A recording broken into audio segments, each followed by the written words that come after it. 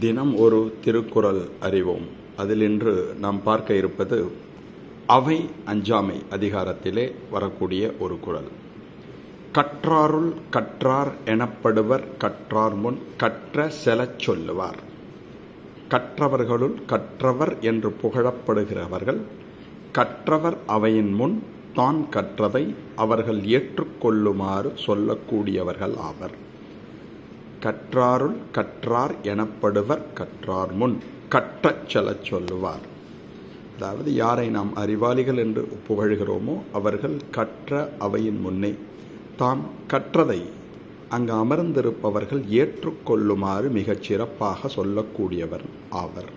Thank you thanks a lot for hearing